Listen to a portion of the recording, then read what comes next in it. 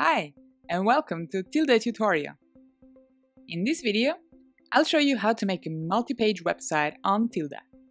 We are going to learn how to add new pages, link them together, and give them custom URL addresses. So let's get into today's tutorial. I'm going to start from signing up in Tilda. To do so, I need to type in my name my email address, and a password. No, I'm not a robot. And here we go. Once I've signed up, a pop-up appears, suggesting to create a new website. Today, I'm going to make a website for the travel club. So I name my project and hit the Create button. I've just created a new project, and now I want to activate a two-week Tilda personal plan. This is free and it will allow me to use all the options available on pay tariffs. Okay, now I go back to dashboard and click on my website.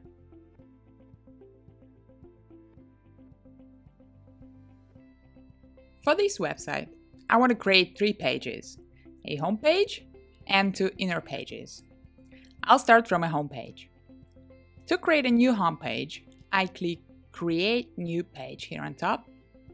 Here, I can either choose one of the Tilda templates or opt for a blank page and start designing from scratch using blocks. This is the home page I created for the travel club. Let's have a look at it. You can see tours and trips, with some photos. The team section follows, giving some info about the folks who organize the club. Then there is a tour registration form and the contacts. I want to make two more inner pages. One of them will give some more details about the team members, and the second one will present a specific trip.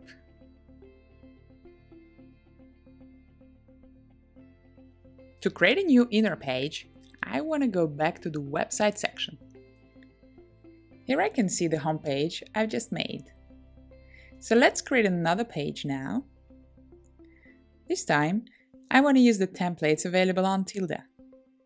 I'll go to the Inner Page tab and try to find a template that works for me. I think this template is the one I'm looking for. I select it here by clicking Create. There is little left to do. I just need to edit this page, replace the content, in order to get the page the way I want it. This is how my inner page looks after editing. There is a detailed story about each of the team members. The page is done. Now I want to create a second inner page. This time, I'll make it out of a blank page and start everything from scratch. This is how it looks. It basically gives all the information about the tour to Georgia.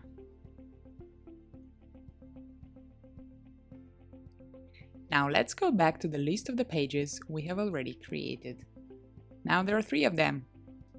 We've got one home page and two inner pages. Now it is very important that the home page is correctly assigned in the site settings. In order to do this, go to the site settings and hit the home page tab. Here, in this little drop-down menu, I select the page I want to set as a home page. In my case, it's a tour club page.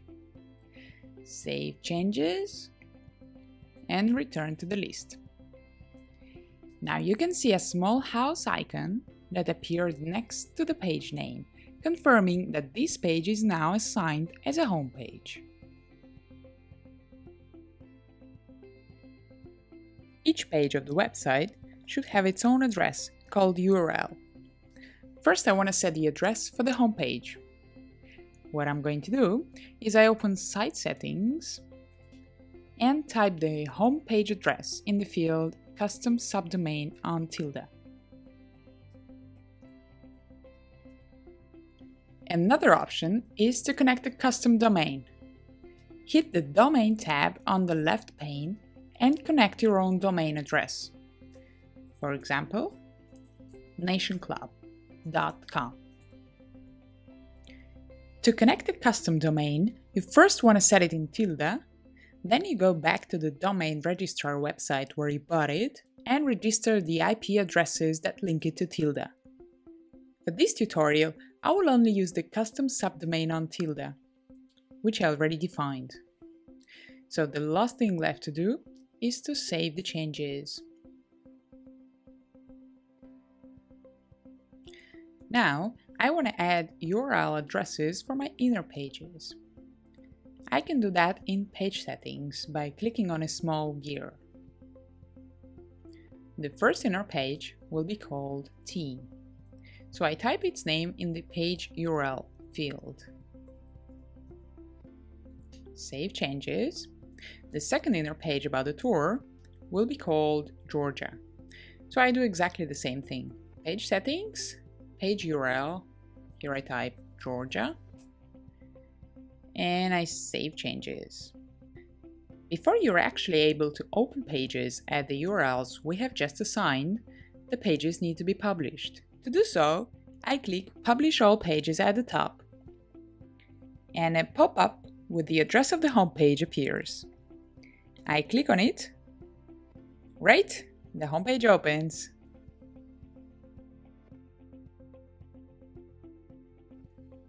Now what can we do to make the pages social networks and SEO friendly? In page settings, we can set the title and the description for each page. This information will be displayed, for example, in search results. I'll type team in page title and then I'll add page description. Alright, next step, a badge. It should be uploaded under the badge tab. By default, the first picture on the page is assigned as a badge. In my case, this is a photograph of the organizer. I can replace the image by uploading another one here. I click on Upload File, drag and drop this photo,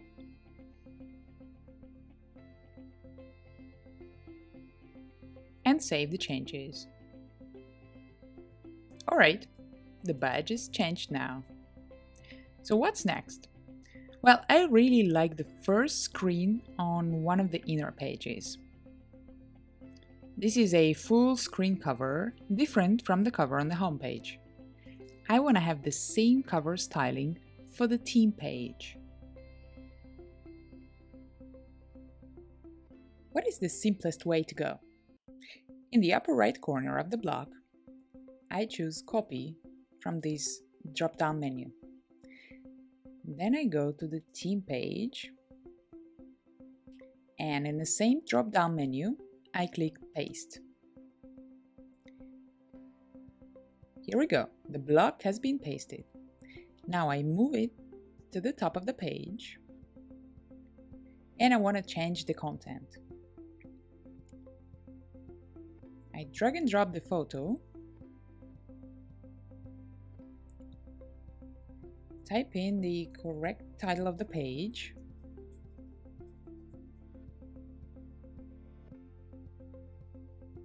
and adjust some visual settings.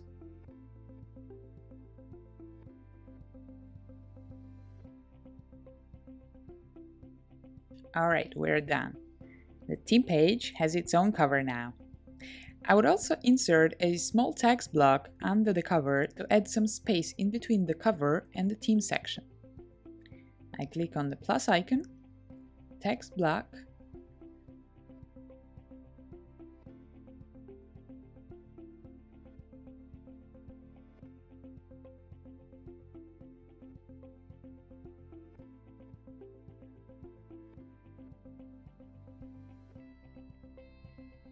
I also want to have the contact section on each inner page and a button that allows to sign up for a trip right away.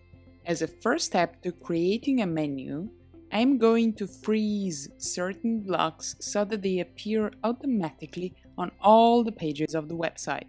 These blocks are called header and footer. It's a good idea to designate the menu block as a header. To make it, I go back to the list of my website pages and click on Create a new page. I choose the blank page and I'm gonna use it as a header. Here I click on More Blocks to access the Blocks library on the left panel and choose one of the menu blocks.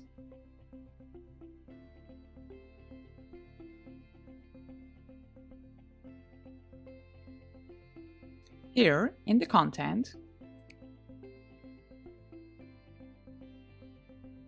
I replace the company name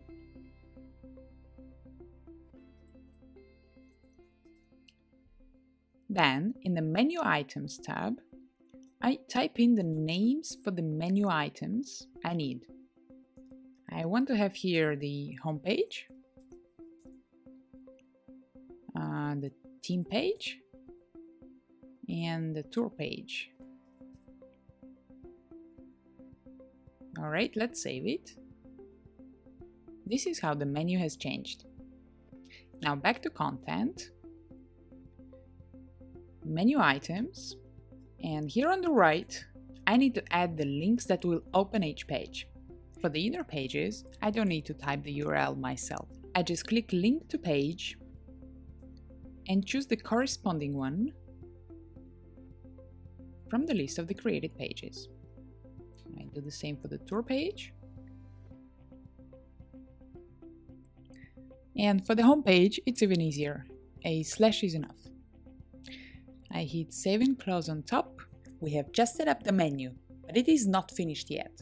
I want the background of the menu to be transparent so that it can overlay the cover we created for the inner pages. In other words, I don't want this black bar under the menu. To do this, I open block settings, to menu background, and I set the menu background opacity to zero. Let's save the changes and do the last thing. Back to settings. In the main settings, the menu position behavior can be adjusted. It's static by default, what I want is that when the page is scrolled, the menu remains attached to the cover and is not fixed at the top of the browser. So I choose the absolute option. Let's save the changes. Our menu is created. Now, how do I make it appear on all pages? Let me go back to the list of the pages, open the menu page settings, and name it as a header. This way it will be easier for me to recognize it. To set this page as a header, I go to Site Settings, select the Header and Footer tab on the left pane, and set the page as a header by selecting it from the list. Save the changes.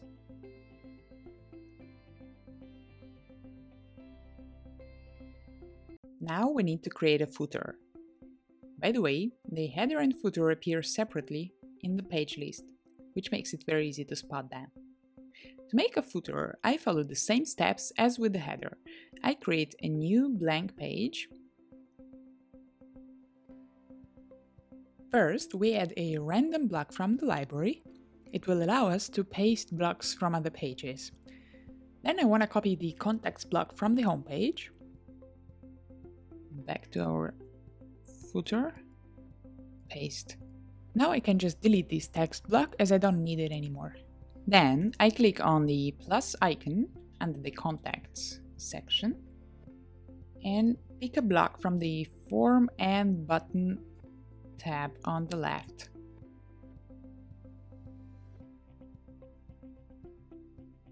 I need to adjust my future sign up button block that will lead to the registration form.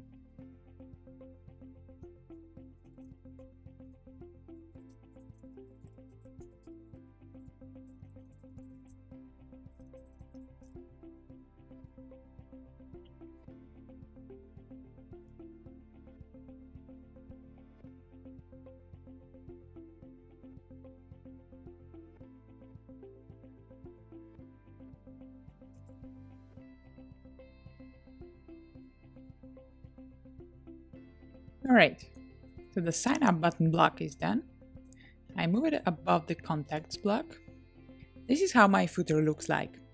It's a block with a button and the contact section with the phone number and the email address. Now I go back to the list of pages.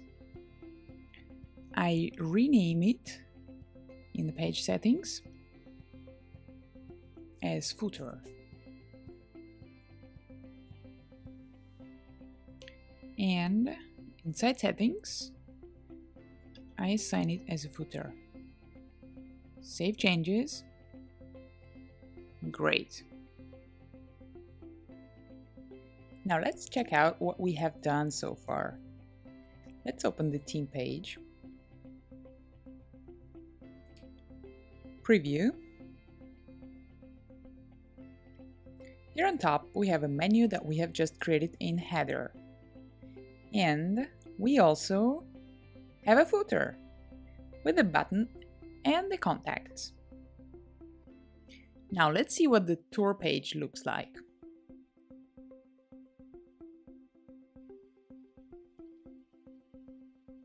Preview. Yes, everything seems to be okay. I see the header. And the footer was also applied, perfect. But what about the home page? Because header and footer are also applied to it. Let's check it out.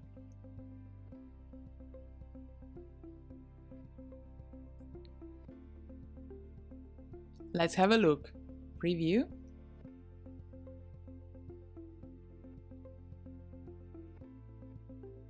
The header is hidden under the main menu. It is white, and that's why we can't see it now.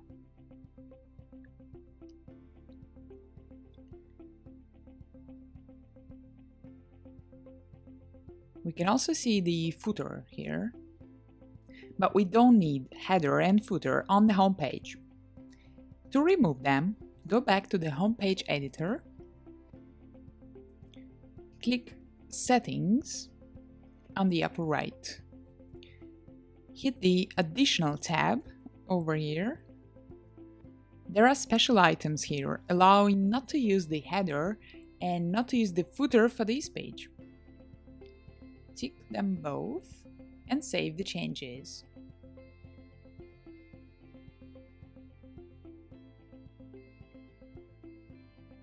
Now let's reload our preview. And now, header and footer are no longer displayed here. Perfect. So we're almost there. The only thing is that our pages are not connected among them in any way. Let's see how we can link them to each other. First, we have already assigned a URL address to each page which means that we can link them through the menu now. Also, the sign up buttons on the inner pages should be connected to the registration form. Let's start from the header and footer. We go back to the pages list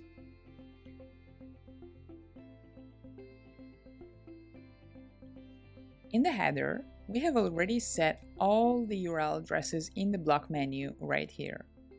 Now we need to set those URLs on the home page because we are using a different menu there.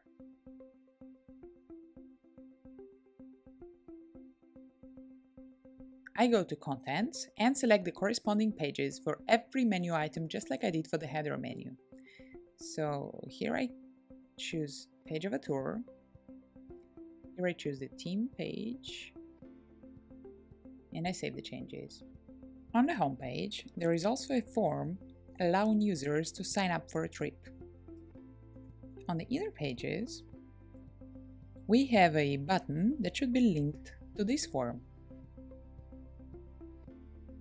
The button is located in the footer section. So how do we link this button to the form on the homepage? Let's get back to the homepage. And we'll do this by adding an anchor link right before the block with the form on the homepage.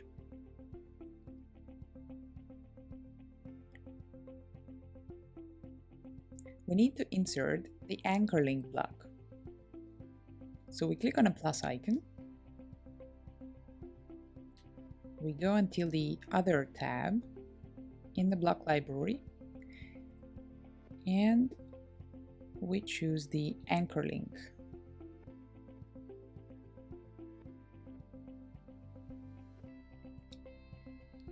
Let's name it form. Save and close. Now let's switch to footer where we have the sign up button.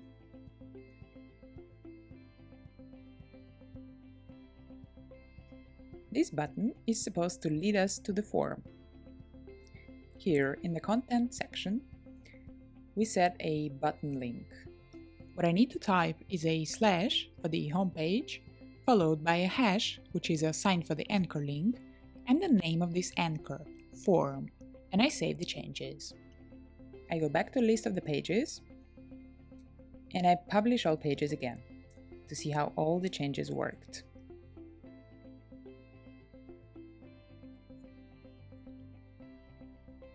So here is the home page.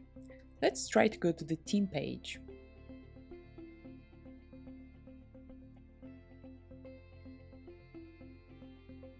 It worked. Now from here, we want to go to the tour page.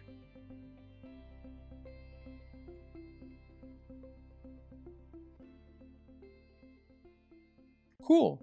This transition worked too. Now I scroll down Let's say I really like this tour description and want to sign up for it. Here I hit the sign up button and it brings me to the registration form on the homepage. Now everything is ready, everything is set up. We have a beautiful travel club website. Now try to create your own multi-page website. Thanks for watching. Good luck everyone.